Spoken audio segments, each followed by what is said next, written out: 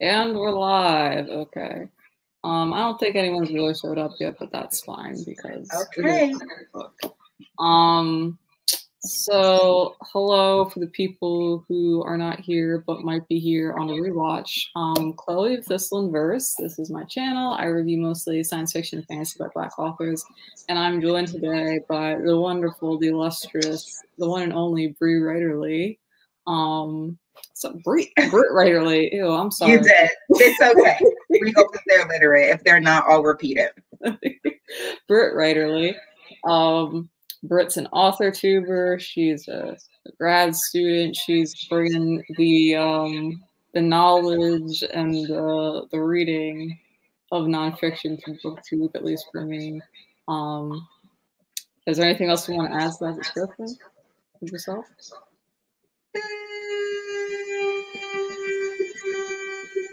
With that.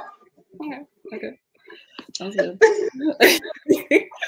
well, I thought we could work through and do like a chapter by chapter summary of the book okay. I was discussing today, which is Searching for Sycorax, Black Women's Hauntings of Contemporary Horror by Dr. Kinitra D. Brooks. Dr. Kinitra D. Brooks. Um, so I just had a little thing written down, and you can tell me if you want to add something or if you disagree. Okay. Get this summarized. So uh, okay, so there's an introduction. She kind of talks. Oh, sorry, it's a preface, and she kind of talks about this movie Vamp with um. Gosh, why am I blanking? Grace Jones with Grace Jones.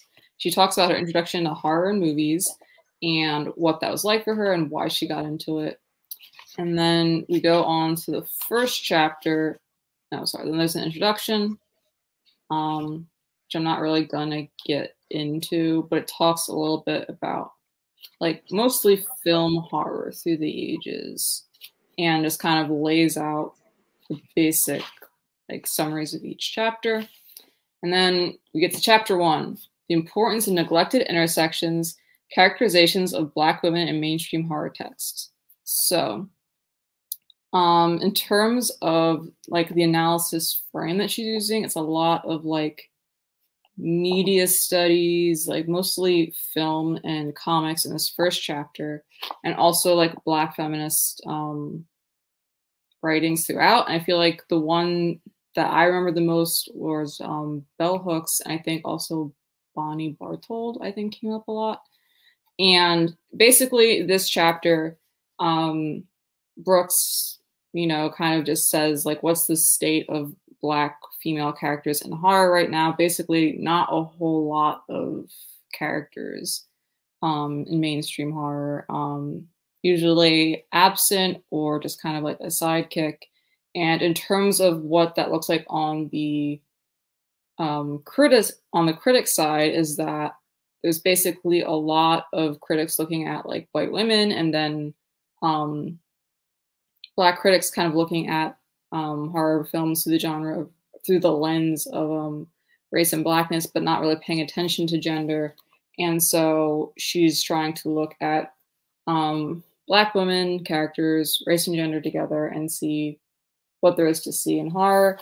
And in the first chapter, she brings up two characters. Um, uh, one that she likes more than the other, um, Selena from 28 Days Later and Michonne from The Walking Dead. And she talks about what works or doesn't work about those characters. And um, i think basically she said that she chose those because you know comics and film are kind of where it's at. It's where a lot of people are in horror. And also because i think she said like final girls were just kind of like the easiest place to find black female characters. Um and the next chapter um is it Black feminism and the struggle for literary respectability. Um, she talks about sort of the establishment of like a Black female canon. And her argument is that the general strategy was to appeal to like the dominant ac academic sensibilities when creating a canon to prove like the worth of Black female writers. And so that generally meant not um, dealing with uh, authors writing science fiction, fantasy, horror, like other genre works. And she argues that that was to the detriment of um, these writers because a lot of what elevates um, books are people talking about them, spreading the hype, reviewing and critiquing them. And she, I think she pointed out specifically that this, she argues that it was to the detriment specifically of Octavia E. Butler because she said that this push was happening around the time when Octavia Butler was publishing, and it did like, it took a little bit for Octavia Butler to become like a, a household name. Um, like it definitely wasn't when she was first starting out. She was getting a lot of recognition. And then chapter three was Black women writing fluid fiction and open challenge to genre normativity. She kind of gets into what are different genre labels, why are they tricky? Um, they're often contested, and she talks about um, speculative fiction as a label, Afrofuturism, and argues that um, for a new genre called fluid fiction that she thinks best describes what Black women are writing um, in that it encompasses a very purposeful uh, transgression of boundaries and also like writing with meaning, like not necessarily invention for invention's sake. And she mostly focuses on Nella Hopkinson and Nnedi Okorafor in this chapter. And then in chapter four, um, she introduces the concept of folkloric horror, which is horror that incorporates African American spiritualities, cosmologies, religion, um, superstition and belief and how that merges with the everyday. And she also talks about music as conjure in that chapter. There's like a there's a bit where she talks about Nina Simone, who else was it? Memphis Minnie. Um, yeah. So that was pretty much everything. Um, sorry, anything you feel like I would need to add? Hey Kiki, hey Emma Ray. That was pretty comprehensive. Okay. like, wow. I'm like, yep, yep, uh-huh, yeah, yeah, go on. yeah. Hitting all the points. Yeah. I have a so reader Okay. Sorry, I'm just seeing everyone the comments now because I've been like in the book, like, what, what was the chapter name? Looking at my notes. um, so I guess we could talk a little bit about like overall thoughts on the book. Um, just something like my eye just Huh? As I felt like my eye just completely twitched, but that's not really relevant. Go on. Okay. Um, in terms of like, what do you think this book was like? I don't know. I guess for me, when I do a review, I kind of talk talk about like what do I what do I feel like the book was marketed as, and do I feel like it was marketed correctly, and who I think it's actually for. Um, and we kind of talked about this a little bit, like behind the scenes, but like mm-hmm. I came into this thinking that like I don't read a whole lot of horror and I was excited to like learn a lot more like black women writing horror and um like taking a deep dive into like a few of the people whose works I have read and it's not really a literary analysis book. I feel like it's really more talking about categorization than anything else. Like I think that the title and the like synopsis and the dust jacket make it sound like it's like a like a media analysis, like looking at representation. And I feel like besides the first chapter, that doesn't really come back up again. Like we mm, we do talk a bit when it comes to like genre classifications and stuff, like we do talk a bit more about it, but I don't like I felt like the first chapter was like a really close reading of like The Walking Dead and 28 Days Later and like what those characters were doing and like stuff about them. And then I felt like the other ones, it was kind of more like about building a global classification system. And so it felt like things were just kind of brought in more as like examples to talk about an idea. Um, you know. Yes.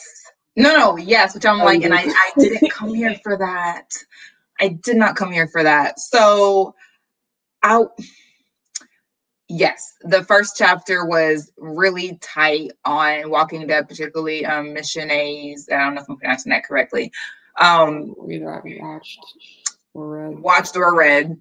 Um Mission A's character, and I was like, oh, like this is this is a really tight analysis on that. Great, um, which still is not what I can. Well, I mean, it was she was reading the comic particularly. So um so fine, but I was really hoping to get some examples of literary analysis of horror um and like just this because there's I was hoping to get some literary analysis of horror, like text, not like the screen as text. And the closest I came to a horror text, I feel like was chapter one. And mm-hmm. after that, it was more the theoretical history, the canonical history, um, how the can't like all it was all very interesting, like the how the Library of Congress classifies SFF. So I was like, these things are interesting in and of themselves, but as a whole, not what I came here for. I don't love her invocation of Sula. Didn't love. Um, wait, wait, I'm blanking. What did you say about Sula's horror? I, I when, when I think it's chapter three, and fluid fiction. And I have lost it obviously because you don't have I to like give it major You can just give me like a quick.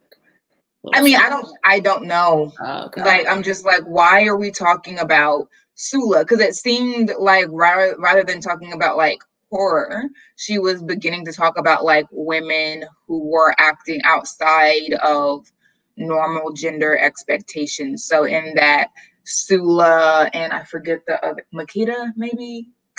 No, Jackie, I think.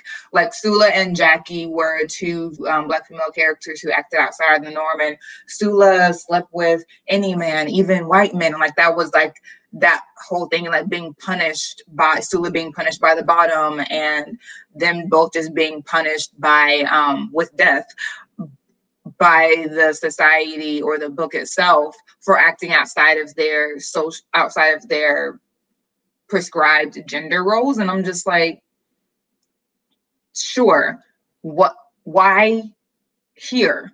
Like even if i agree with that point in general i'm just like but i want to talk about horror text or at the very least science fiction and fantasy text because i can rock with you talking about beloved as a mm-hmm. science as a as a fantasy book even as a horror. You're not going to get me on Sula for any of those things though. And so i was just like it felt too broad in some places to be useful for my purposes. And I kind of mm-hmm. lost the thread several times of what exactly her purposes were because it seemed so broad and she was working across so many genres. And and I don't want to jump ahead to the, to the fluid fiction chapter, but at a certain point, I was just like, I understand what you mean in theory to a point, but what is the practical utility? What is the practical utility? And that's just sort of where I ha- I continue to try to get off the train. Mm. Mm. Yeah, I mean, when you like, kind of go through the chapter summaries, like I felt like things didn't really connect to each other. Like I had a, I had asked um Britt if she thought that the chapters were kind of like published individually and then like compiled um in the sake for this book. Um, because I didn't feel like there was a whole lot connecting them. Like yeah. there's a there's a lot of talk, you know, about um like in the second chapter, like, oh, like the canon and like who's pushed out of the canon. So I was like, oh, so like in the next chapters where we get into the horror, we're gonna like center those people who have been kind of pushed out of the canon. Um which mm, sort of like she she does talk about Nella Hopkinson a lot, but um sorry Nalo Hopkinson a lot, but like I was conf- I was confused because her thing is that like there's this like I guess little hierarchies even within genre. So like there's like literary fiction and there's like genre fiction like SFF and then within SFF horror is kind of like floating around doesn't really have a home and like she argues that Sister Mine is horror, and like I could see that having read it, but also I was like, but like Tananarive Due is like right there. Um, you know, Linda Addison um, was right there, and like these are people that I know that she like knows of or has worked with, and so I was kind of wondering why there wasn't more spotlight on people who are like known for horror when like you know just the chapter before we're talking about how they're kind of like ignored within the canon um or like don't really have a home within the canon as it is um like i thought the genre stuff was interesting and it like definitely got me thinking about things but I didn't want more from it. And it like the last chapter, there's like a bit where we talk about music, and I was like, this feels like it came out of nowhere. Like there's all these mediums. Like we were like in the first chapter, we're looking at comics and film, and then we don't really talk about comics and film ever again. And then we're talking about novels and short stories, which really aren't too far a hike, I feel like, from each other. But then at the end, we're also talking about music performance. And like these are all vastly different things. And yeah, it did feel it felt like there was like the first chapter was kind of doing its own thing. And then I felt like there was sort of a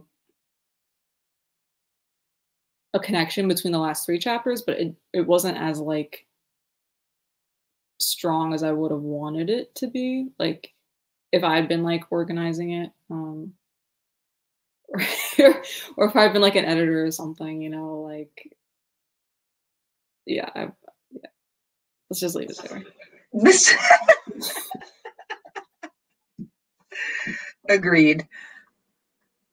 Agreed, agreed, agreed. So, did you want to go through each chapter? Did you want to talk about which chapter you liked best and why? I'm trying to remember your order of yeah. operations for the night. So, in terms of chapters I like best, um, I think it was the last one, the chapter on folklore horror.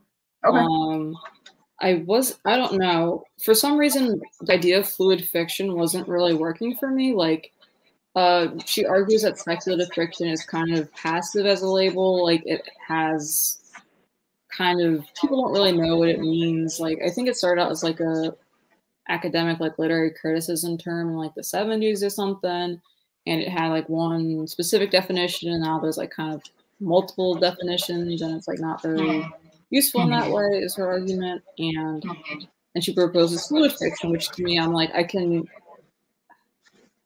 i feel like when we're i don't know i don't really have a big interest in creating genre labels but i feel like you kind of have to account for the fact that people aren't going to read up on the history when you make the genre label like it kind of has to stand yeah. on its own and i don't know if fluid fiction on its own to me conveyed purpose conveyed like i got boundary transgression from it but i don't get like I don't know. To me, the idea of something being fluid doesn't necessarily feel purposeful. Like, I don't know. When I think of fluids, I think like, you know, kind of sloshes around, you can manipulate it or whatever, but doesn't feel like it really encapsulated the things that she wanted it to.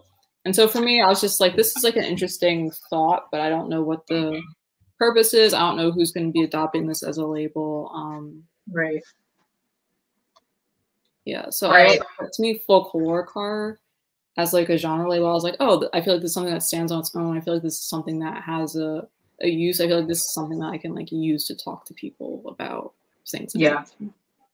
Yeah. And then to your point, and I'm look, I the chapter that when she's talking about fluid fiction, and she's saying like Black women authors do not currently eschew the label of speculative fiction, even as I present its growing inadequacy as an efficacious descriptor of their work Many of the Black women discussed in this work have proudly published under its banner Nalo Hopkinson, Tananarive Due, Nnedi Okorafor, N.K. Jemisin, Chesya Burke, and Kiini Ibura Salaam, to name a few. Okay. And then she like quotes Nalo Hopkinson in a 1998 interview and says, I write fantasy. Actually, I say speculative fiction because my work includes elements of science fiction, fantasy, dark fantasy, horror, and magical realism. I feel like we need to pause there because I, as a writer, am not a super fan of um of revising of revising writers on their own work. So if Nalo mm. Hopkinson says, and she's been doing this for a while, says I I actually refer to it as speculative fiction, then who are we and and who we are is, is, critics and readers and whatever. So you're welcome to your opinion. But to say I find it largely inadequate when you know that Black women have had to work to get into the space anyway, I don't see the utility of calling a genre that Black women have have taken into themselves inadequate. Like it's clearly not inadequate, or they would not be calling upon it and trafficking in it. And I think in a lot of ways, speculative fiction is doing what you are insisting that fluid fiction can do better. And I'm just like, what is your investment in this? Like, what is your mm-hmm. investment in, in pushing fluid fiction over speculative fiction? I'm not convinced that it's something that we really need to do. And to your point, who's going to take that up beyond this book? Otherwise, like, why are we giving a chapter to it as opposed to really having a town hall with speculative fiction and asking more of it if more is what we need? But to say like it's largely ineffective, I'm like, I, I don't agree. I think that people I think you can say it has limits if you want to, but people are people are using it and it has been freeing for writers who do transgress genre normativity. So in that way I'm just like this feels a bit like you just want to propose a term. Thank you. it felt a bit like she wanted to propose a term, which I get as an academic writer. We love neologisms, but come now. That's all. Did you have a favorite character? Wait, I think where's the first one?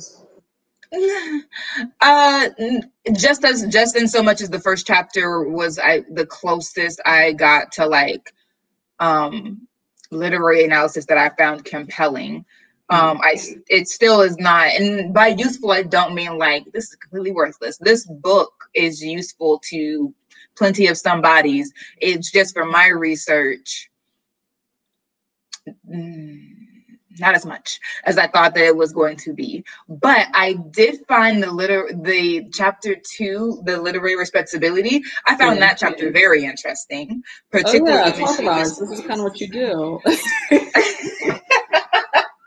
I found that very interesting. Um, and talking about the way that Toni Morrison and Octavia Butler pretty much had the same fans and should have been enjoying this like similar um, play at the time, particularly because Beloved, I want to say, was like Toni Morrison's third book or something like that. And then and i'm sure chloe is fact checking me right now um there was like a fact check look that came upon her face. Yeah i was about to but um i think is it what second third? Which is it? I'll let you know when i find out. Okay. Um and then kindred is definitely octavia butler's fourth. So i'm like they're both they've both been on this and Kindred was published first and then Beloved. And Beloved is kind of the book that we that we hold Morrison up for. And that was published. Oh, don't, don't make me do math. But Kindred was published in 1979. and Beloved was published in 1987.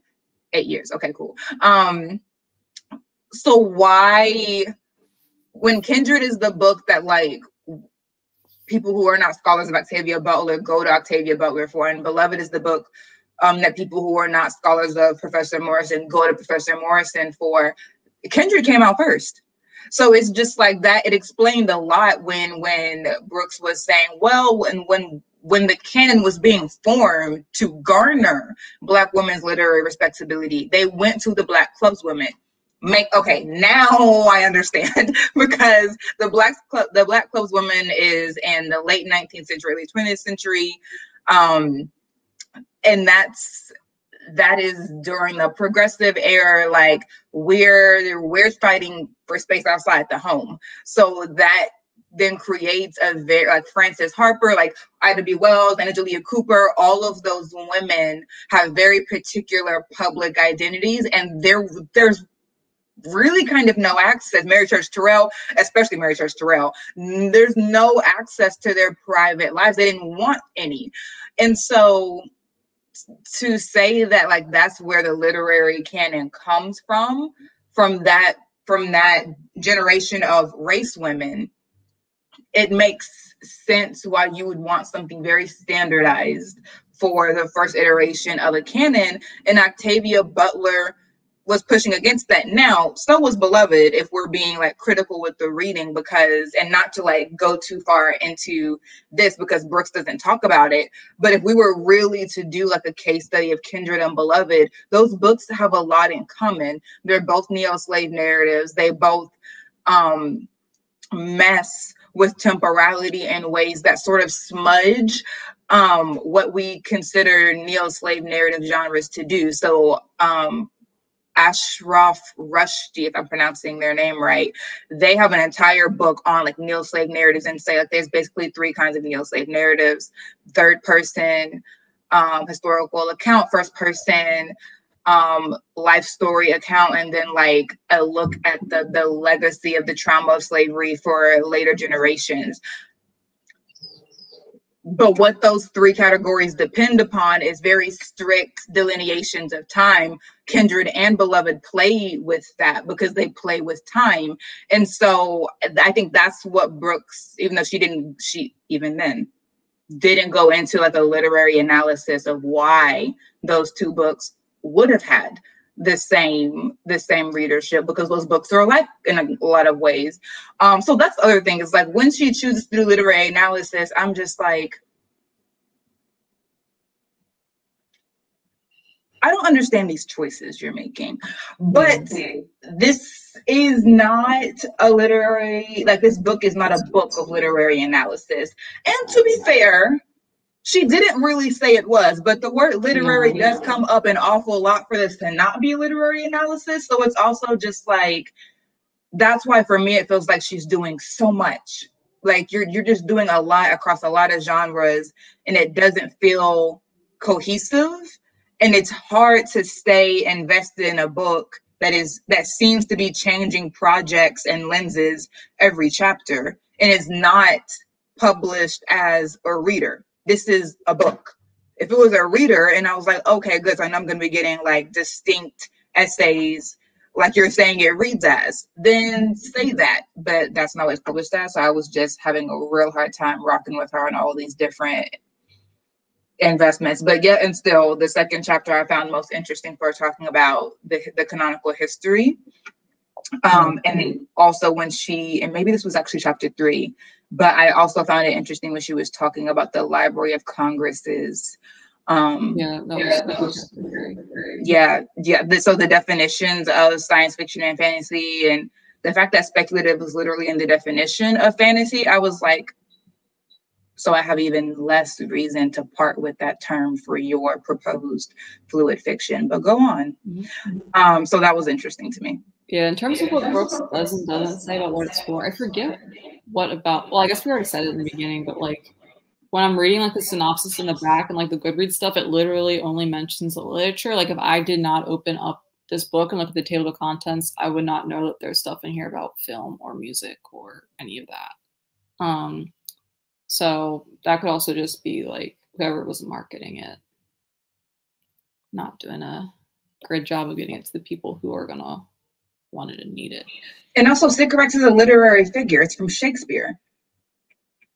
So even if we're just reading the paratext and looking at the title and the blurb and like, like you said, the table of contents, you were naming a bunch of authors on in the blurb. Like you're talking about N.K. Jemisin, Gloria, like you're naming a bunch of authors. You are invoking a literary character. Like even if you don't say the word literary, that seems to be the the stage that you're setting. Yeah. Um, in terms of what the purpose was, I got weirdly into genre distinctions after reading this. I feel like if you're interested in like a meta history or like thinking about categories and what works and what doesn't work, I feel like this book is very interesting. But like, you would not know that from reading Goodreads synopsis. You would not know that from reading almost anything on the back of the book. Um, so, yeah, I don't know what I'm gonna say about it on Goodreads, but there were things in here I found very, very interesting, but it just was not what I was hoping. Was not what was advertised. Um, in terms of when you were reading, were there like little things that surprised you as you were going through?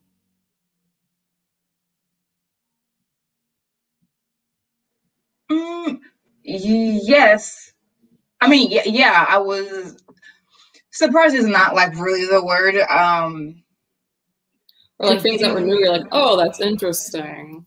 The, the literary the literary respectability chapter I was like, oh, that is very interesting. But like you said, I have a particular investment in um resp- and and and the way that respectability is used. Um, and so I was like, what you gonna say? And then I was reading, I was like, oh, okay, this is really interesting. The Toni Morrison and Octavia Butler thing is very interesting. The the um, the history behind making the canon interesting. Um, what was surprising was the way she went on to use Morrison, i.e., her invocation of Sula in the folklore horror chapter, I think it was. And I was just like, you lost me. So there were a couple things that I found surprising only because I didn't see how they fit into her project. But even in the introduction, I found it it was very slippery for me to hold on to what her project was precisely mm-hmm. like i would understand it in one sentence and in the next sentence i would lose it again and i was like this this does not bode well for me in this book and lo and behold um i think i found a lot of things that were surprising just because i don't read a lot of so like for me she quotes bell hooks a lot i feel like that's like the main scholar that stood out to me and I haven't really read anything, I think, by Bell Hooks. It's maybe one book, but it's like very basic intro, like theory book. Um, so I feel like there's a lot of things there that I found surprising. Um, I'm thinking specifically of to the note. Oh, the idea of like looking as resistance when she's talking about movies. Um, because I feel like when we're talking about, I don't know, I guess like regular day-to-day activities that are like resistance i think people talk about like um, reading a lot in terms of like the history of that being like illegal or like not available to black people in the us for a while um, and i think that just like in my understanding people often talk about like tv something like passive something kind of like um, i don't know i guess like easy or like um i don't know just kind of like a relaxing type thing. Like I feel like the, in, when I was growing growing up, it was like very much dichotomized. Like, you know, TV's gonna rot your brain. Like, don't do that. Yeah, yeah, yeah. Um, reading's good for you. It's like eating vegetables or something. And like, um, so it's just interesting to like when she got into like the idea of like looking as resistance and like what that also has looked like historically for Black people in the U.S. I thought that was very interesting. Like, um, and that's very rooted in bell hooks in the oppositional gaze, which she talks about in chapter one, I want to say, with with when she has that even that epigraph of of hooks saying that I don't I don't just want to look, I want my look to change reality or something to that mm-hmm. effect. Um, and and in the essay that chapter one is sort of adapted from, she says very clearly and very early. I think she may say it here too, but it's hard for me to take those two apart because they are literally just the same chapter adapted for different purposes. Um, but she says like I am thinking very heavily with bell hooks and her her um, her essay, her chapter oppositional gaze. Um, and bell hooks has a book called Black Looks where she talks about representation. And so I think for in that way, um, when she's when she's talking about looking, she's talking very. It's just another way for saying representation on the screen.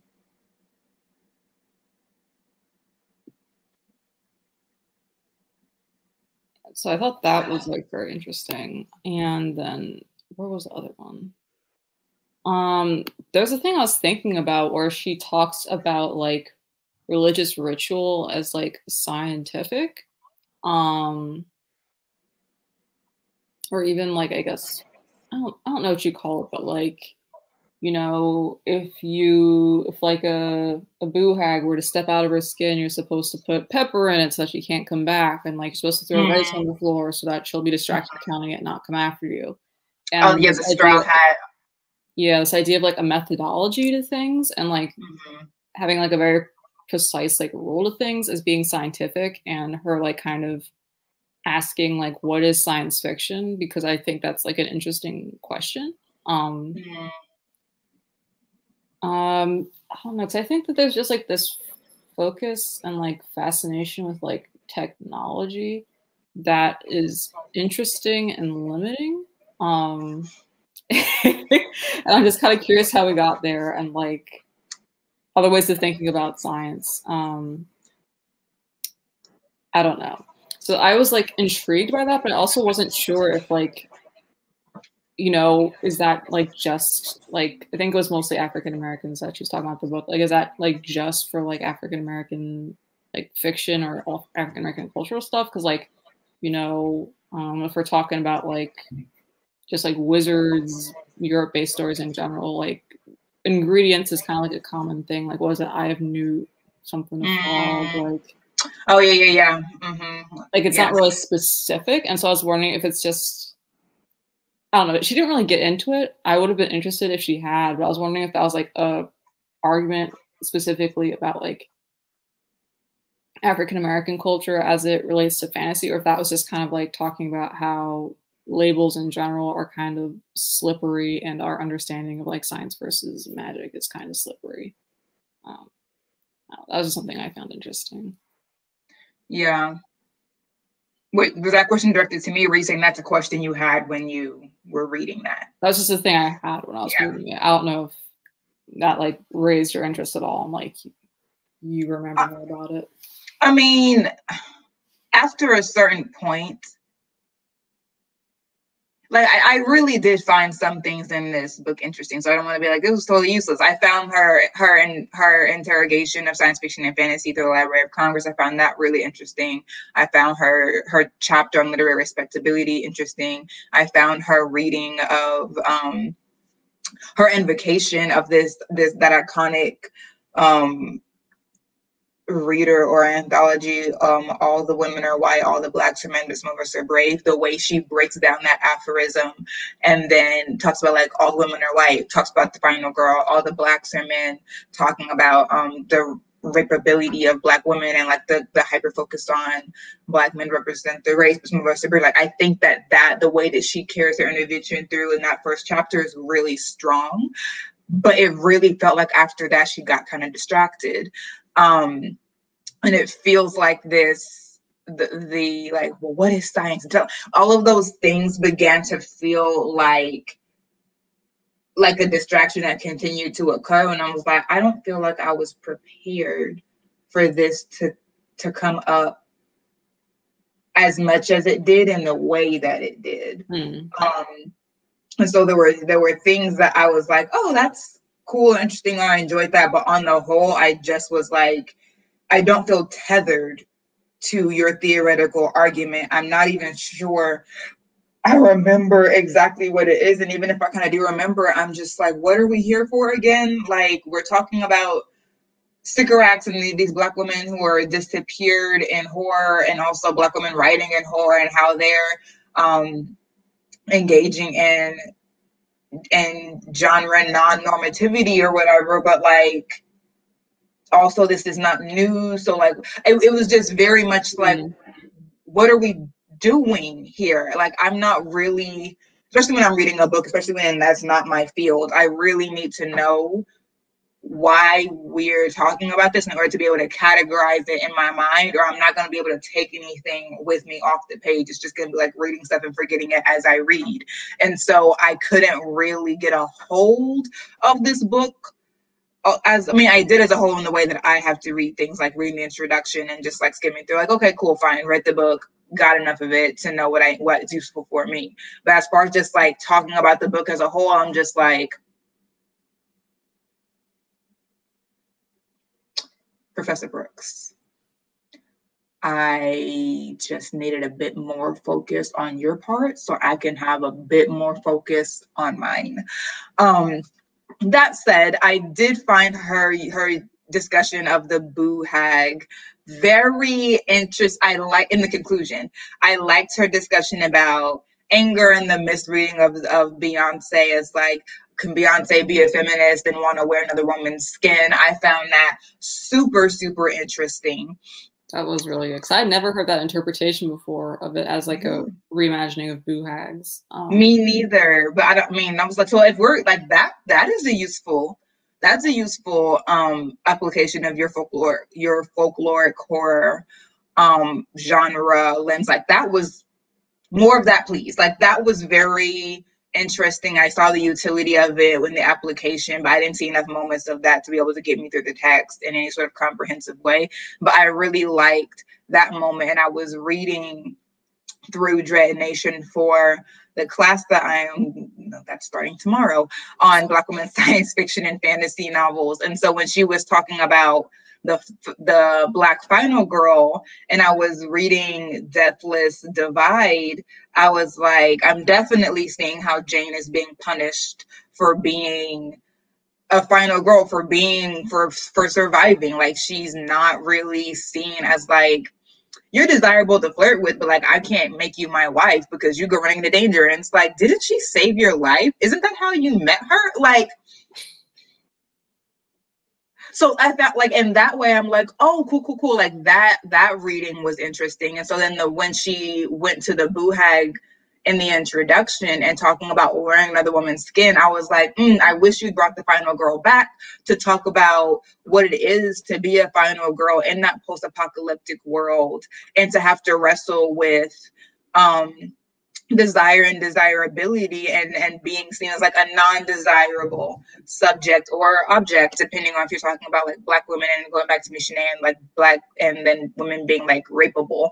Um but the boo hag and beyonce that reading i i wish she had done more. It makes the conclusion. I wish she had brought that up earlier though and done more with it and talking about more like complicated ways to represent black women in horror and the way as she did in the conclusion which i found so generative the way that black women use horror to push back and and reading and watching that um video of anger and just hear and like hearing Beyonce say like I can wear her skin if you want. I can use her clavicle as a cane, her teeth as confetti. I'm like, oh, this is re- this is horrific. But I and and and coming at that from the perspective of the boo hag, I'm like, there's also incredible vulnerability and feelings of of unworthiness also under here that I I have to break, like, take this other woman upon myself to hold your attention. Like, like that's that is something that is more interesting that I wish that she had brought into her literary analysis earlier on. But I think she left the energy of chapter one when I would prefer she carried that through and and maybe brought some we woven the things that we get later into extending that literary analysis of characters like Michené. Um, and and others. Mm-hmm. That was a lot. Yeah, no, I mean, it was all very interesting. Um, I my last thing was like random, has nothing to do with anything we talked about before, but you do more literary analysis stuff, right? So like, have you heard of the idea of like a genre ghetto before? Is that like the I've seen it pop up. I'm like, what? what? No, and when you brought it up, I hadn't yet got there, and I was like, what the what? and then even when I read it, I was like, was that necessary? Because I've heard it a couple other places. So like, so is this a thing? Because the first my introduction to it was Stephen King. Which, when you said that, I was already like, I'm immediately over this entire thing. I don't, I'm already over it. the fact that a white man is talking about a genre ghetto, I said, sir, I'm going to need you to take two steps back and have several seats. It was sometime like a year ago on Twitter. I forget what prompted it, but he randomly was like talking about horror as a genre ghetto. And I remember reading that and being like, what is going on? Here? What what is happening here? And then she mentions that she kind of uses that same exact phrasing here as well, like a genre mm-hmm. ghetto for like genre genre fiction, um, like specifically fantasy and horror, and like mostly horror in this book. Mm-hmm. That's some other random essay that also use that word. And then there's like a TV trope article on like the genre ghetto. I was like, what is it? I Chloe's like, what is going on? Why are we saying this? I don't get it. I feel like it's so weird. like I feel like you need to come up with another someone needs to come up with another word. yeah. I mean, like put your energy into that over trying to to debunk speculative fiction. I don't know. And especially so weird, especially Stephen King said It's like all these genres are like pretty much like science fiction, fantasy, and horror. Like a lot of the bigger names are white men, so it's like really weird to have them come in and be like the genre ghetto. because my thing is like, who, who was in the genre ghetto? How did it become ghettoized? Yeah. Okay. Shady. Stop speaking. And that's when like take several steps back and have several seats. Like you didn't mean anything polite by that. I don't even have to see the tweet to know that you should not have said that. And I don't, I'm not fond of the term. So I'm just like, yeah, this wasn't, this wasn't a win for me. Like this, like this can definitely go down as like highly anticipated reads that sort of disappointed for me. It wasn't quite what I was looking for, although I was able to to get some gems out of it. I'm just like, I found her in her individual essay that chapter one is based off of more useful than this book as a whole. Mm. So I think we've already talked a little bit about this, about how it fits into the discourse. Um, but we could go into it a little bit more, please. I don't know. I have things to say, kind of. Yes, go ahead.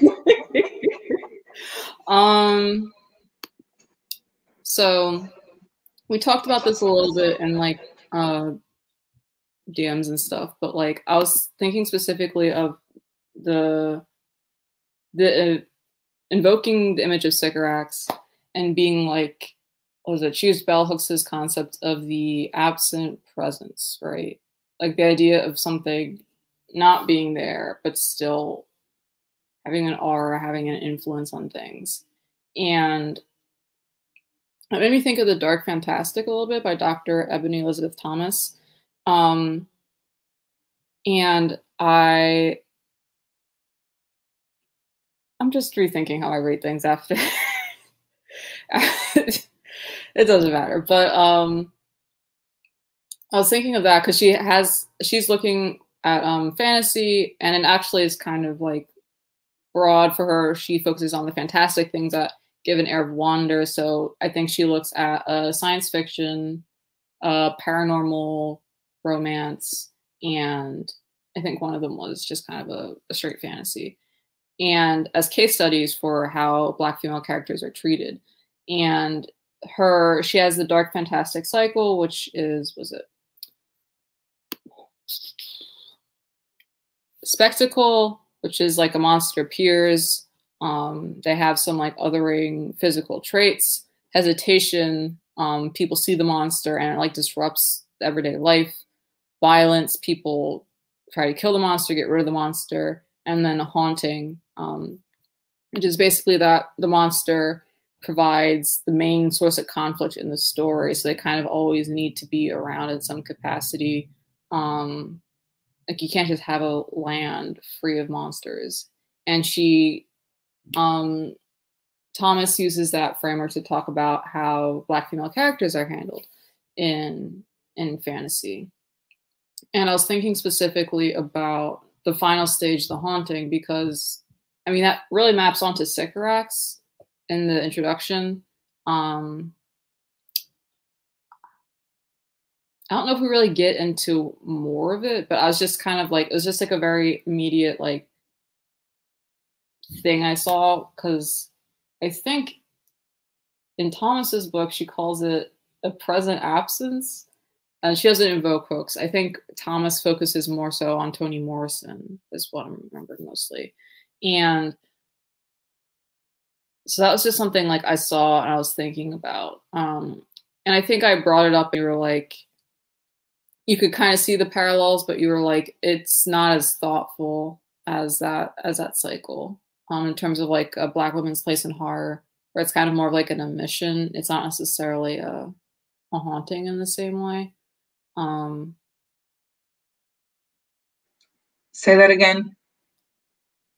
Uh, like I brought up like it was like in a Twitter DM, like, oh, uh-huh. this makes me think of um, you know, this book, and like, I think I can see like the absence of black women in horror as like kind of following this dark fantastic cycle. And you said kind of, but also like in the dark fantastic, it's more purposeful. Yeah, um, I mean, she gives us this and here it's just like they're not there. It's like it's not even like a thought. I mean, she she does. I mean, that's what the entire book is about is their absence. But like, the entire book is about their present absence. But we get like a full cycle layout in in the Dark Fantastic, whereas here we talk about we just we're just continuing to mull over their absence and then like we go into genre normativity. So we don't really talk about the the different the the reasons for that absence or the way like she, we get chapter one in the introduction and that's really it whereas the dark fantastic continues to return to this cycle and map it on to these different texts that she's reading. And she also was juggling multiple mediums. She talks about the hunger games which is a novel. She talks about um the vampire diaries the tv show she talks about merlin another tv show. So like she also was going through different mediums about her her analytical lens is consistent. Whereas for brooks i feel like it's shifting too much between lens and medium. It's just hard. Like you need some sort of consistency throughout the the book or your reader is going to be like i am having trouble putting all this in one project. And I, and I also literally i wrote down like hunting ebony elizabeth thomas. So like i definitely saw that, but it didn't seem as purposeful maybe was too rude a word. It didn't seem as consistent um as the dark fantastic cycle. I brought that up because i think the dark fantastic dark fantastic was the first like literary book i had i think i'd really read on my own like okay. i mean i was a stem kid so i just had textbooks and stuff so like that was like the first like theory book i was reading like cover to cover mm-hmm. and for me, I'd really just wanted like the final chapter restoring was what I was really excited for. So I was like, oh, it was just the one chapter. And like I think like in retrospect, I'm like, wow, that was actually like a very, very tight book. Like I really like the the cycle and then the last chapter when I first read it, and now I'm like, that was actually like a very, very tight book. Um I think for me also is because I hadn't read or seen a lot of the things that were mentioned. Like I hadn't watched Vampire Diaries. Um, I had sort of been like I think Hunger Games is like kind of shortly after I stopped reading. So like I hadn't read it. I think I watched the movie and was very checked out. So like I just didn't relate to a lot of the franchises that were brought up, but like yeah, that's why I mentioned the thing about changing ratings. Um, that was one thing I was thinking about.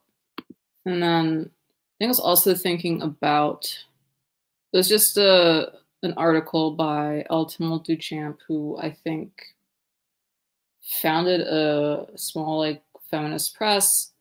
Um, it was like a it was published in this anthology, Stories for Chip, which is um, a collection of essays and short stories dedicated to Samuel R. Delany, who was a black gay man who wrote science fiction. Like started off writing, I think, the late '60s, and then he I think he wrote for like decades, like, and he wrote stuff outside of science fiction. So he did like science fiction. He did some like memoir and like nonfiction type stuff. And it was just an anthology like about him and his life and his influence. And this was the one where I mentioned earlier, where this one also used the phrase like genre. And I was like, is this like just a, temp- a technical thing? Like people keep banding it around. But um it was interesting because it talked about um different ways of like legitimizing a genre. Like it was talking specifically about I think cyberpunk was kind of the focus and like the the tussle over like when did cyberpunk start? Um, who are the people who are important in it? And it was talking about how um, sort of one way that genres can gain legitimacy is kind of by pulling in um, works by authors who are kind of like well known and popular in their own right and being like, oh, this is actually like our thing too, like it relates. And I think after reading this book, um, because I think people could make that argument for talking about like Beloved by Toni Morrison or um, I think there's like a couple others where you could um, let me let me think of something more but I don't know. Like I feel like when I'm like looking for like older books that are fantasy, there's kind of like pulpy fantasy, and then there is kind of like this book that wasn't really categorized as fantasy at the time, but it does have like these elements in it that we might say is fantasy. Um and Kindred wasn't categorized as fantasy when it came out. Like she talks no. about that in interviews multiple times. They didn't know what to do with it because they were like, it's not science fiction yeah. there's no science in it. They like they ended up just publishing it as fiction. Yeah. Um, like I think a book that happened more recently where it like kind of played out like that was um I think Remembrance by Rita D. Woods. I think mm. a lot of mm. people hadn't heard about it because it was being shelved as like African American fiction or like um I don't know what the contemporary it's, it's not a contemporary but like or a historical fiction, but like I haven't read it yet, but I've heard there are fantasy elements of like women who can see the future, women who have like these supernatural healing abilities, women who have the ability to cloak things from people that they don't want. Um, it's kind of it gave me Salt Road vibes. Salt Road. By by Nalo Hopkinson, it gave me Salt Road, and, and that and that there were three generations of women who were connected across time, and that one of them, at least like one of the time periods, there was a woman who was engaging in some. I mean, magic system is too is too academic a term, um, a cultural, a cultural magic of some kind. So it was, it gave me Salt Road vibes for that reason, the structure of it. But it also was like, I was like, is this a neo slave narrative? Which like there, I feel like there are some like things that have come out recently that could be categorized as neo slave narratives. Mm-hmm. But I think that was one more recently where I remember people being like, I'm seeing it shelved in these places, but I think that there are fantasy readers who would have an interest in it and it would have a home in um, fantasy shelves as well. Mm-hmm. And uh, I was just thinking about how, I don't know, maybe it's not necessarily like drafting people in or like, at least when it comes to like African American women and Black women writing like fantasy and the fantastic or horror and the horrific, but like, just like a natural view of the world. Like I think I just stumbled upon this Toni Morrison quote um, by accident, but um, someone had asked her um, on like what she considered the genre that she wrote, and like, do you mind if people call your work magical realism? And I think she had said like it's not really magic realism because it's just like the world as it is. It's not magic. It's just reality. And her quote was my own use of enchantment simply comes because that's the way the world was for me and for the Black people I knew. There was this knowledge, uh, there's this other knowledge of perception, always discredited, but nevertheless there, which informed their sensibilities and clarified their activities. It formed a kind of cosmology that was perceptive as well as enchanting, and so it seemed impossible for me to write about Black people and eliminate that simply because it was unbelievable. So I've become indifferent. Oh, and the rest of it's on her feelings on the label. But I don't know. I, cause I think I was using that thing in my head, like, oh, like we don't really need to be like yoinking people out of the genre, but then being like, but is is it really, or is this just kind of how you know people think of fantasy? Is that just something that's like more like cultural to how like the stories we write and how we perceive reality? Um, in terms of that type of stuff. Because I don't know. Because I feel like. We talk about Beloved by Toni Morrison. Like I think Toni Morrison said it wasn't horror. Like I don't know if she really picked a genre for, it, but I feel like people had asked her if she thought it was horror, and she was like, "Not really. That's not how I think of it." Um, do you know more about it? Cause it's been a while since I had read or listened to the interview, so I could be misquoting. No, no, I, I, I haven't been, I haven't been up on my inner. I, I'm teaching that book, so I've been revisiting the book, but I have, and it's in my dissertation, so I have my own way of coming to it. That Toni Morrison would probably be like, Step over here real quick. Um, so I I'm not the one to ask because I'm definitely for um and not not definitely for in a way of like we should all read it this way, but I think that to Brooks's point about literary respectability, there's definitely a sequestering of a particular cohort of Black women, Gayl Jones, Gloria Naylor, Toni Morrison, Alice Walker, sequestering those women into literary um, fiction as like something that is worthy of study. Um, and I'm just I think that we could have other readings of those books as well. And so, like, in reading Toni Morrison through the lens of science fiction and fantasy, um, particularly fantasy, do I think that she would agree with that as like a publication genre widespread? No.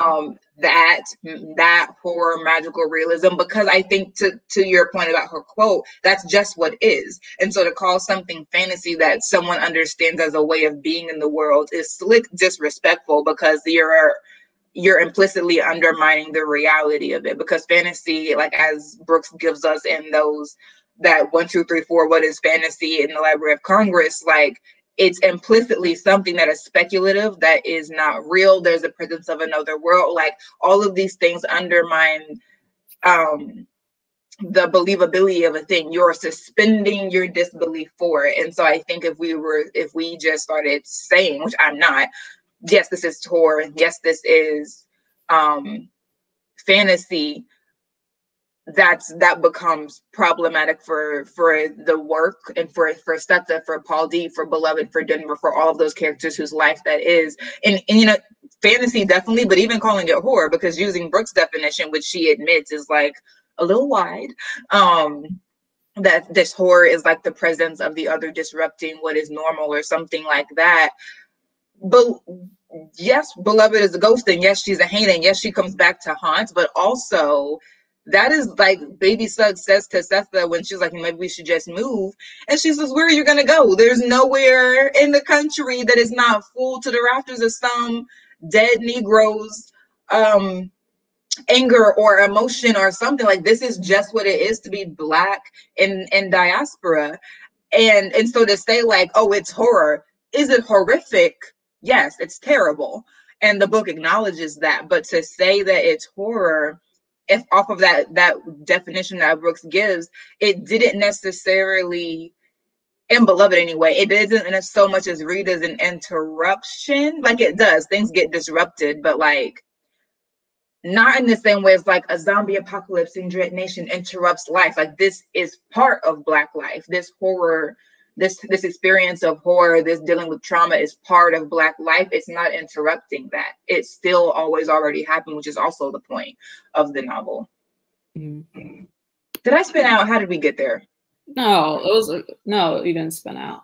Okay. Um and um to your point miss wc reader um i remember talking with um Drain of uh she has a bookstore uh, rebel women's lit and she focuses on caribbean fiction and uh, she does like stuff on YouTube as well, and like with panels of people and like uh, performances with people, um, kind of like community building stuff.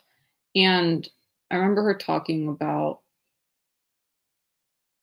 basically how that doesn't really those genres kind of like don't really map neatly onto Caribbean fiction as well because of the incorporation of folklore and just like how they view the world. And I think for me, something I was thinking of as like out there, like, because I think my first encounter with it was um or like I guess the idea of like what is fantasy because what is reality, um, was with Freshwater by Akwaeke Emezi, which um, I think when it was initially released, I don't think they were really making it super known that it was a memoir because they were like, it's going to be hard to market to the US audience. Um, and so I think people were talking about a lot of different ways. Um, like, I kind of figured that it was partially based on their life just because of the it's parts of it just seemed like it was based on their life um, from what I knew of them. But I think once they like once the book was released and they're like doing events and stuff, I think they were more like it's a it's nonfiction, like it's literally my life. Like these are entries from my journal, like just in this book. Um, like this is this is my reality. This isn't like a fabrication. Um, so I think I'd always I'd been thinking of it more so something like out there, like in other parts of the African diaspora, not necessarily something that was also happening with African American writers. And so I think that reading this book really made that like click into place for me. Um, and I need to read more of Toni Morrison's nonfiction.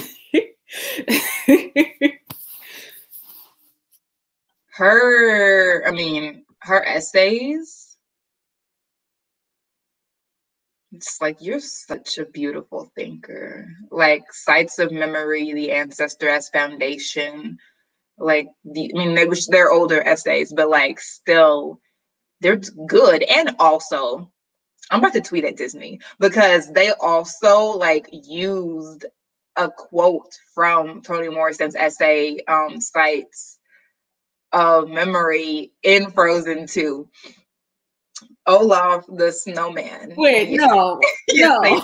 Wait, what? The yes, they did. I'm like, listen, I'm about to have to pull your card because I love Frozen too. But part of the reason I love it is because there's such a foundation of Black women's intellectual history. But you're gonna cite these Black women. So Olaf, when Olaf, have you seen Frozen two? No. Okay. I saw the first one. I was like, "This is cute," but it didn't need a sequel. So I, I yeah, no. Fro- Frozen Two was a lot better than Frozen. I don't have an issue oh, with wow. Frozen, but Frozen Two is actually an amazing movie. I've seen it literally like no less than five times, and will be watching it again and again and again. It's good. So Olaf the Snowman. Oh my god, no. Yes. he says and he this is when he's like in the midst of like spouting off a whole lot of facts on their way into this forest. And he was like, Did you know that water has a perfect memory? And then he follows it by saying, like, so in effect, this water that you're drinking has moved through whatever, whatever, and then they whatever. But Tony, like that is from Toni Morrison's essay Sites of Memory. She says like the Mississippi used to they they say that the that they're like straight in the Mississippi and when it's floods, um, and they call it like flooding when the water comes back, but it's actually remembering itself. In that whole beautiful space where she talks about like flooding as remembering, she says water because water is perfect memory. That's why the, that's why it's remembering itself. So when Olaf said that, I was like, come again, and said like that becomes like super important to the plot of the movie. And then in um I think it's in "Show Yourself," which is a um a song that Elsa sings near the end when she's like finding this really important knowledge because the whole like memory is really important in Frozen too in really great ways. Um, there's a part of the song where she like her mother's memory is like singing with her in this like really beautiful duet and also spectral um because it's like her mother's memory encased in ice or something. And she says you are the one you've been waiting for all of your life. So we're just going to quote alice walker because that's definitely the title of one of her collection of essays. Like we are the ones we've been waiting for so that's why I'm just like, listen, I love what you're saying. I just need you to cite these black women. So I'm dead like the snowman too that was full off. Oh, the mouths of snowmen. I mean, Olaf be saying some deep stuff, to truth be told. Like Olaf be saying, be really having these moments of like stark clarity followed by entire songs where it's like that is absolutely not true but it's also like he's saying like the exact opposite of what is true in a way that you know the writer of that song knows that they're saying the exact opposite of truth to say the truth Olaf's character is very interesting someone needs to write an essay on olaf Sounds like that song is going to be you. Here's the thing: it's not. It's, it doesn't fit your thesis though. At all. Like all I want is for them to cite Toni Morrison and Alice Walker for these very, very pivotal moments in the movie. That's all. And I will be tweeting Disney. Thank you for reminding me. We were out of Absolutely. Like. Mm-mm. Kiki said she fell asleep during the first Frozen. Watch Frozen 2, Kiki. It's good. I, I don't know. I also I don't know. My attention span's weird because I can really watch a lot of cartoons, but like when it comes to like real people movies, unless it's like a cooking documentary or something, I kind of can't focus. Um, you said a real people movie? Uh, live action, like they have actual actors in it. Like I watched the Marvel movies. I've watched some of the DC movies. I watched True Grit, a western, but like it's like very limited. yeah. I mean, I'm a Disney baby. So me and Disney, complicated though our relationship is, we're always gonna have to deal with each other. And I just have to call them on their crap when they do these things like quoting these Buckle not. I'm tweeting them tomorrow when I know that they're awake to see it. Mm-mm. Anyway, That's wild though. I literally was like, I have to be going crazy, and I, I might have let the waters and of no one said it. Go. Like there wasn't a Twitter thing. I know. I was like, why? I'm surprised. We... that's why. I'm, that's why I was like, I I'm confused. So I was gonna let the water of perfect memory thing go, and then when show yourself happened, and she said you are the one you've been waiting for, I was like, absolutely not, because also maybe I'm sure that everyone on that team doesn't know that, which is why I'm like, you need to though, because a lot like in recent years, a lot of people have been saying iterations of that. Like we are the ones we've been waiting for all these different things, and I'm uh, like, let's yeah, not forget who originally said that though. Yeah. So they probably don't even know that Alice Walker said it, but it's like you get paid too much money not to know. Yeah, no. Um, like I didn't recognize the quotes, but I'm like surprised that like more people didn't, um, or didn't say anything about it, at least on Twitter. I mean, well, um, Sites is an old essay, so unless they had recently read Sites of mm, Memory, like it's not like an iconic thing. Like she's not known for that line. I mean, she's known by me. I don't know. Like, I mean, if a Morrison scholar had been sitting in that room, they would have been like, yeah. Excuse me? But I don't know how many people are reading Toni Morrison's nonfiction, particularly like those essays from earlier, as opposed to like going through her novels and, and whatnot. So it's very possible that people did not catch both of those yeah things. No, Disney's in the city. So remember when they tried to, wasn't they tried to copyright uh Dia de los Muertos? Or some iconography associated with that when Coco came out. where there was talks of it. I just remember there was like murmurs, and then people were like, "They better not." Disney is in cities. That's why I'm like, I can't be. I'm sure that all of you didn't know, but I can't be sure that none of you knew. And either way, I'm going to make it known. Like, mm. next thing we know, the color purple, and um, it's a Disney property. It won't happen. You can go to the theme park. There's a color purple uh, section. there would be a mass insurrection if that happened. Like the color of purple is an icon. Like you're not gonna get away with that. You're not gonna get away with that. Yeah. Mm-mm. They they they had to stay in the nonfiction register to get away with it as it is. If they start going into the novels, someone's gonna pull their card. Thank goodness. Especially because of the movie. Like these are our icons. These are our touchstones. Disney, Disney knows. I feel like Disney has a kind of a sense of how far they can push before they get pushed back because they've been at this for too long. You know where the line is. So, I guess wrapping up the discussion. Um, was there? We kind of talked about things that we didn't like from like an organizing perspective, um, an editing perspective. Was there any like analysis in here where you're like, that's just, I don't, this methodology doesn't make sense. Um, yeah, bringing in Sula, I was like, stop oh, this. Mm-mm. You didn't say that. I'm, wasn't a fan. Baffled that I'm that I didn't remember that. Because I feel like that's something that would have stood out. Because I was like, when she brought up Nella and I was like, this is a horror book, yes. I've been trying. Um, so I'm surprised that like if she brought up Sula, that I wasn't like Sula. Yeah, I've been I've been trying to find it this whole time. And I thought that I marked it, but alas, and as soon as we say good night, it will come back. It'll my book will just randomly fall open to it. But yeah, I would I think that the way people use Sula is interesting in general. I because my colleague was just told me about a lecture that another colleague of ours gave where he was talking about something else. And I was just like, it's very interesting how people invoke Toni Morrison in her literature. And when they make that choice to do so and and for what purpose. And it's just like, okay, sure, that's a very interesting choice that I don't mm-hmm. quite follow. I'm trying so hard to find it, but I'm just it was just it was just very random that like it says a lot that I can't even remember what chapter that would have been in.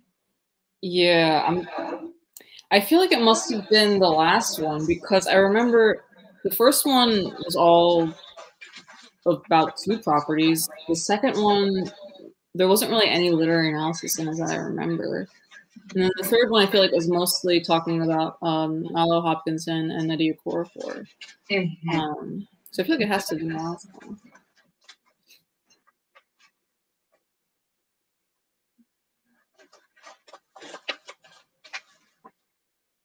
Well, if if and when I find it, I will DM you just so you can see it, just so you can see it for yourself and be like, yeah, this is um, this is interesting. Oh, I think it was somewhere. Whatever, I will DM you, but I definitely was like, this doesn't even look like it should be here. Oh, here it is. It's on page 81. 81. So it's in the Black Woman Writing Fluid Fiction. Oh, I lied. I did not think it was in there. And she's arguing that, like, so it's when she says, um, I further suggest that Jackie's lack of partner and her subsequent emotional and physical destruction parallel that of the titular character Sula of Morrison's 1973 uh, novel. All right. She's talking about, what was it, Greedy Choke Puppy by Nalo Hopkinson, which is about uh, I think a woman doing some um, ritual to get a husband, and then she's talking about who is it? Jackie's desire for a husband, I guess, and the life that she wanted to lead. Hmm. Yeah, I.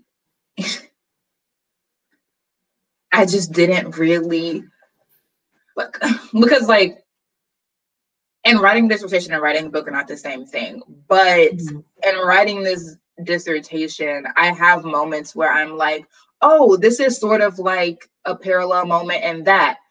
But you can't necessarily write every single moment that it that pops into your mind as a parallel.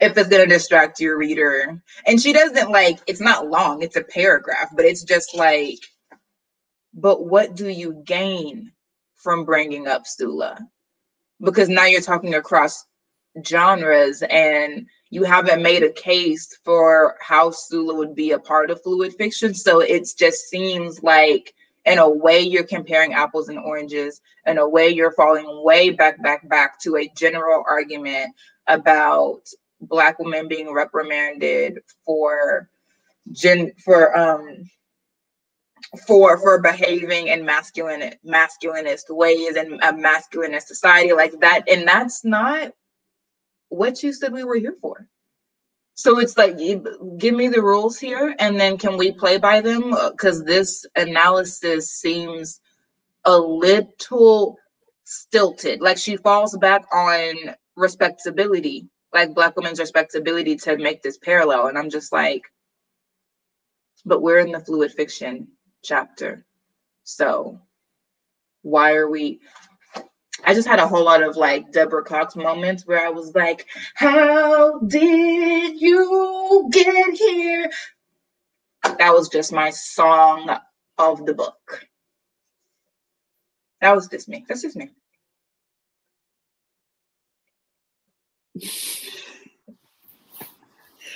I was like, you're a nut, and I'm never asking you back to my channel. Oh, it makes discussing nonfiction stuff fun. Um, I don't know if there's anything I outright was like, I disagree with this. Um, I was kind of, hmm. I don't know, this is just like another thing I thought was interesting was when she talked about um, fluid fiction and mm-hmm. Sister Mine and how um, um, how, Nalo Hopkinson um like kind of blurs the lines between um deities in Sister Mine and like um mm. cosmologies and this might just be something I think about later, but um I, know, I remember Bethany C. Morrow talking about because I have to read a, a, book for book club, um, a song below water by Bethany C. Morrow, um, and her. Let talk- me know how that goes. I don't read anything into my smile. You began to smile, so I just returned it. But have you read it already? I've tried to read it. I got a little bored. That's all. So let me know how it goes. I finished it. It was um it was three stars, it was okay. I'm just I'm like I don't want to turn it into a song below water review because it's not the May wrap up yet. But I'll just say that I'm very picky about magic systems and like real world parallels. And I don't think that if you want to tell a a story that uses a magic system to parallel some real world thing to make a point, I don't I think that it still needs to make sense in world. Um and I basically yeah, that's basically my thing. Um, so that's all I'm gonna say about that. Um, but I was just thinking about that because she also bring uh, Morrow brings in Elokos for that um, novel, and I think she had talked about in interviews people asking her about why she didn't stick to the lore more and why was the Eloko like anyone can be an Eloko because I, I forget where Elokos are from, but I thought it was like associated with like a very like specific ethnic group in Africa. And in the story, anyone can be an Eloko. Um, and that she'd taken other liberties with the lore. And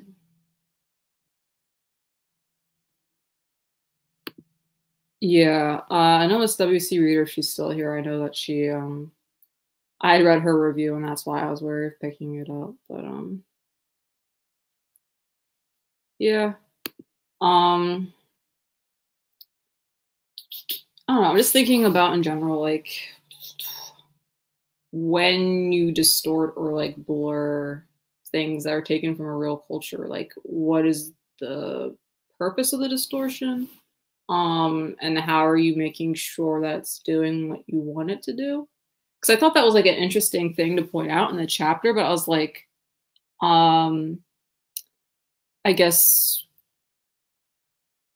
um, in terms of like Nalo Hopkinson's um, sister mine, I was just kind of like, I don't know if, she, if I don't know if Brooks really said like to what purpose other than just like pressing boundaries and like not being contained. Um, and Which, no, yeah. Which, like, to by her own admission, these black women are not being contained. Like, that's what Nalo Hopkinson says in the interview that she quoted. Like, I prefer spec. I even think of it as speculative fiction because it is horror and fantasy and dark fantasy, and like so she like they are not contained. The the non containment is why you are feeling the need to create this new genre. So to me, it just her logic undid itself as for like why we need fluid fiction all the reasons that she was saying we need it, I'm just like, that is just giving me reason of why it's unnecessary. But that's just me. I guess for me, yeah, I mean, I guess there was an analysis of it, so I can't think about how it would apply to a song below water, but it's something I'm thinking about. Um, I mean, we could probably apply it to a bunch of different other fantasy novels. Like, you know, it's not like uncommon for someone to write from like a culture they're from and then be like, I want to change this or jazz up that, and then people are like, yeah. not sticking to the source material, and they're like, but it doesn't have to if I don't want to. Yeah, I mean, like I think there's a lot of fantasies coming out now that are doing that. Like, which is steeped in gold. I know is um she that's from her Jamaican culture, Ciannon Smart, and um, Tomi Adeyemi's Children of Blood and Bones is Nigerian inspired, which is her culture. Um, the Gilded Ones by Namina Forna's inspired by Sierra Leone. So I and, and it is like inspired by, not completely like this is the exact like mm-hmm. that's why they call it source material. Like I'm sourcing from it. I'm not just like rehearsing the entire literary canon or oral canon or whatever. But I think the thing is like when it's not your culture that the source material is coming from, you got to be careful about like whether it gets read as a distortion or whether it gets read as a blank inspired world. Mm. We have one person who likes fluid fiction. T's liking the idea of fluid fiction. It didn't move me, T. It, I was like, that's speculative fiction. Explain to me what your issue with speculative is. And she she goes into it, but I'm just like,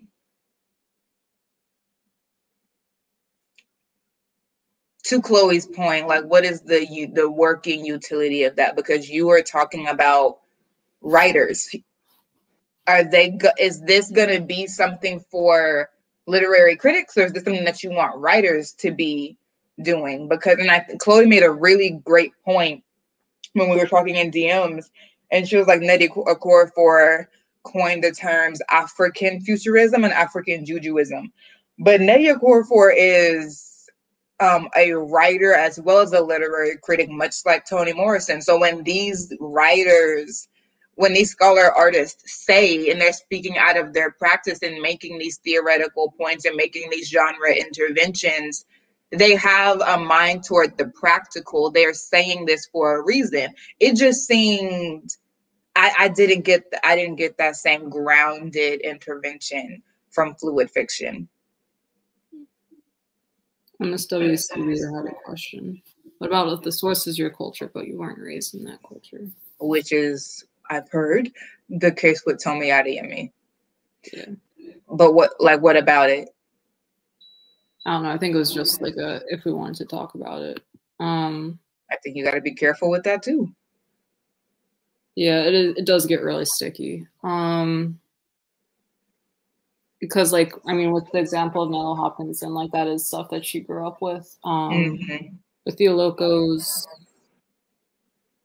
I don't know if Morrow talked more about it. Um and it's also I guess like I'll just say that for me this is mostly like thought experiment type stuff because like I'm not a writer. Um so like I can't really give hard and fast rules and stuff, but like I think a lot of it also is like the work that happens in interviews and like mm. and stuff and being like, this is the source material and like this is the change I made and this is why I made the change. Um and like so that things don't just because sometimes people pick stuff up and they just think that it's like all like a one to one and they think they're just gonna learn something like it's a nonfiction text and then they run with it and then that's not what it was intended to be, but like right. due to of people talking about, that's not what it's supposed to be. That's mm-hmm. what happens. Um, I mean, there's also like talking about people being. I know. I think with WC Reader is talking specifically about people like in diaspora and like, relationships to source countries because that is something that has come up a lot. Um, mm-hmm. I feel like that comes up a lot with um, books I'm seeing about the Caribbean. Um, and like, that's probably just because I follow Kiki. Let me not say that comes up a lot. That comes up because I follow Kiki. Um, and so that's why I've been seeing it. But um, there's like that and like the separation that comes there, and then also I'm thinking also of like Rebecca Roanhorse, who was like adopted, and so it's different with her because she's um her dad's African American. I think that her mother was Pueblo, and I think she was adopted by a white family. And I think it's also like complicated for her, and that was like an involuntary separation, and like you know, just like histories of like yeah, specifically like um adoption and like Native American people. Like I don't know if you know about was it the but basically there was a law i think that was started to like make sure that um, indigenous american kids weren't getting like adopted off a reservation if they were born on one because there's like issues with trafficking and like abuse oh my gosh um, yeah i don't know if it was like state or federal stuff but like just like or we could talk about like foster homes and like you mm-hmm. know i mean there's conversation now around Ma'Khia Bryant who was um teenager yeah. was killed recently by yeah. cops um, was due to I forget exactly what, but she had been in foster care. I thought there was abuse going on. She'd called the cops for help, and they shot her. And there was talk about like she'd been living with her grandma, and she'd been taken out of custody with her, from her grandma. And then there's talks about like foster care in the U.S. and mm-hmm. these kids are disproportionately taken away, and who are they given to, and stuff like that. So like people's separation from like a culture can be like also very like a sensitive thing. Like I know Rebecca Roanhorse was like getting harassed and stuff, and people are saying that she wasn't actually Pueblo, and like it was it was kind of like a it's kind of me- it was a mess. It was a mess. Um, so I think people are like they don't want to like be like harassing people about the authenticity and stuff, but also it can get tricky when stuff gets taken as fact when it was like a distortion yeah. and like people are like removed and don't feel responsibility to like be open about these things. Um mm. I think is the utility of author's notes also. Like if there's a if there's like some cultural like if it's based off of a culture, you can acknowledge that in author's notes. Um talk about like your sourcing, encourage your readers to do your own, their own research and point them in a particular direction um, that that's also useful in author's notes. So that was a very long tangent. I I don't know if in my head these things make sense and then I say them out loud. I'm like, I don't know how much it made sense after all the backstory I had to give, but yeah. I mean, no, um, yeah, it makes sense. It was a very roundabout answer to the qu- original question was, what about the sources of your culture, but you weren't raised in that culture? And that's a very roundabout question answer to how people become separate from cultures and when readers have had issues with that separation and how it affects the story that's told. Um, that was all the questions I had for this book. Um, is there anything else you wanted to talk about? Not I, but I'm Kiki just I'm just looking at Kiki. What book are you talking I think about? I know the one. Um, let me double check the title before I get on here.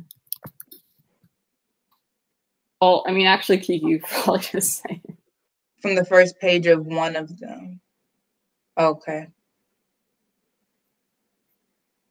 I don't know which one she's talking about. Um, but yeah, I mean, there's a lot of there's a lot of books coming out that are like from Carib- Caribbean inspired fantasies right now. And I've heard, I haven't read most of them. I'm not really reading a lot right now. Well, that's not true. I am reading, but I'm just close reading. So I'm reading the same books over a long period of time.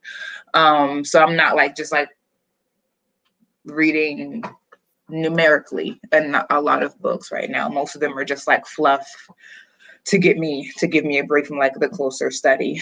Um, so I haven't read a lot of these newer books that are like, yeah, um, Jamaican inspired or whatever, whatever. But I have heard like murmurs, um, to use Chloe's term of like, yeah, that that was gotten from like you can tell she got that from stories from family while she was at home on vacation visiting as opposed to like something she grew up with. I was like oh okay. Like i would not know that but like jamaican people or caribbean people being like yeah the way that it's being applied is really strange. I'm like okay Kiki said there's a couple, but the one she was talking about was Your Corner Dark by Desmond Hall. I haven't heard anything about that. I'm assuming it's a contemporary or historical. Um, I'd heard you talking about Hurricane Summer. 10 page glossary with terribly wrong patois. We had persons doing polls trying to find anyone who knew them. That's uh, that's unfortunate. Listen, yeah, yeah, so that it's just very interesting, which is why when Miss WOC reader was like, "What if it's it's their culture, but they're not like you know didn't grow up in?" I'm like, you still gotta be careful because people still gonna pull your card. Yeah. But yeah, that's all I have. Um, sorry, I'm getting sleepy. It's late. yes. Yeah. Um, so that was everything. Thanks for joining me. Thanks for talking about this book with me. Um, thanks everyone who popped in to watch and talk with us. Have a good night. Bye.